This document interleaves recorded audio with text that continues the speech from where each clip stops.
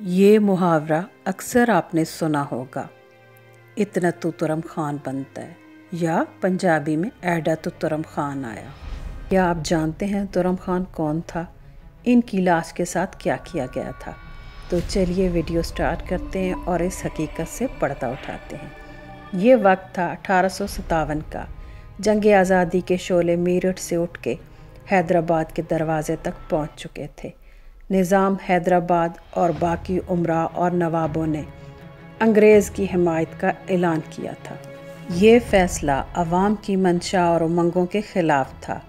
लोग रियासत के फ़ैसले को मुस्तरद करते हुए जंग आज़ादी का हिस्सा बनने को तरजीह देने लगे।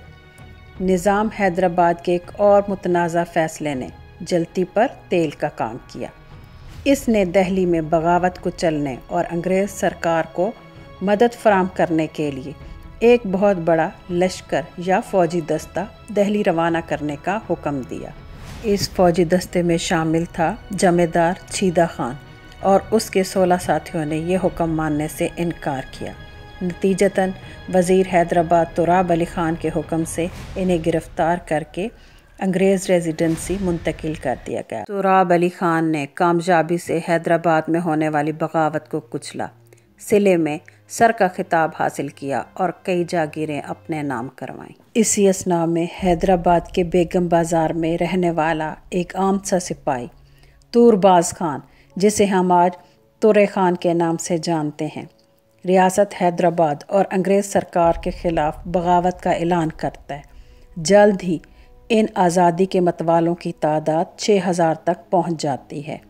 इन्होंने जमेदार और उसके साथियों को आज़ादी दिलवाने का फ़ैसला किया और अंग्रेज़ रेजिडेंसी पर हमला करने का मंसूबा बनाया। ये एक शदीद तसादम था। कई लोग मारे गए और कई गिरफ़्तार हुए। मगर तुरे ख़ान अपने साथियों की मदद से फ़रार हो गए। लेकिन जल्द ही गिरफ़्तार किए गए और काले पानी की जेल, जिसे हम सेलुलर जेल के नाम से पुकारते हैं, मुंतकिल कर दिया गया इन्हें।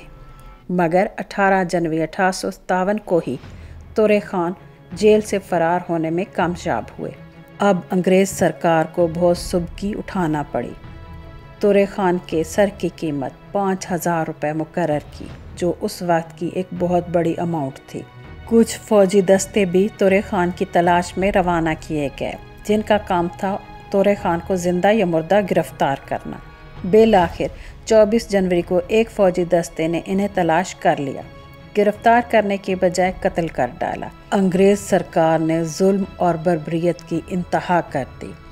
तुरेबाज खान की लाश को शहर मुंतकिल करके उसी रेजिडेंसी के सामने बरहना करके एक दरख्त के साथ लटका दिया गया। कई रोज़ तक इस आज़ादी के मतवाले की लाश लटकती रही।